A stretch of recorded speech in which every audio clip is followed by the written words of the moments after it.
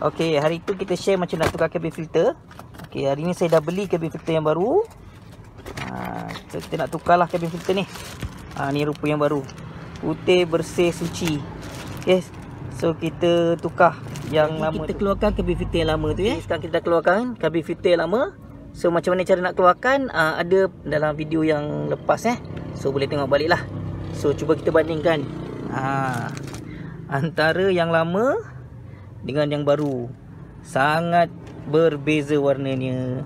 So hari ni kita nak masukkan yang baru ni lah ke cabin filter bawah ni. Filter ni saya dapatkan secara online dengan harga dia lebih kurang RM23 saja. Okey? Okey ha, ni rupa dia. So lepas ni saya nak sumbat masuk. Okay, jadi kita masukkan sajalah ya dalam ni. Jadi kalau tengok kat situ Okay, saya dah masukkan uh, cabin filter yang baru eh. Uh, tu yang putih tu. Okay.